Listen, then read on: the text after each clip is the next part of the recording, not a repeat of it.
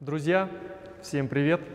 Сегодня в видео мне проассистирует Владислав, и мы с вами поделимся одним из очень интересных упражнений искусства фехтования на коротких клинках. Нам понадобятся безопасные имитации, которые мы в поединке воспринимаем как настоящее оружие.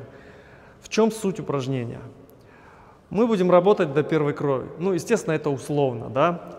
Мы представляем, что это настоящие ножи и что оружие смазано ядом. Любое, даже, любое ранение, даже мельчайшая царапина ну, приводит к летальному исходу. Поэтому задача остаться сухим, да, чистым, чтобы тебя не коснулись.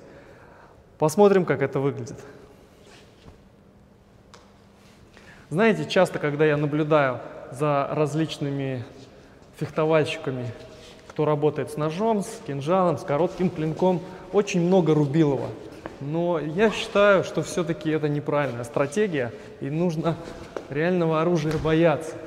Нужно стремиться быть искуснее, быть точнее. Видите, когда мы рискуем, мы понимаем, что сейчас бой может закончиться, совсем другой подход. Именно поэтому я люблю данное упражнение. Оно очень круто прокачивает чувство дистанции.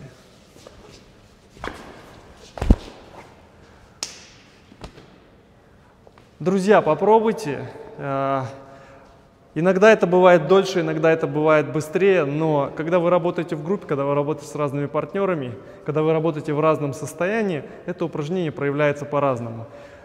Смысл в том, что у вас есть четкая задача. Прежде всего, не пропустить и только потом достать. Пишите комментарии, задавайте вопросы, мы с радостью на них ответим. Спасибо за внимание.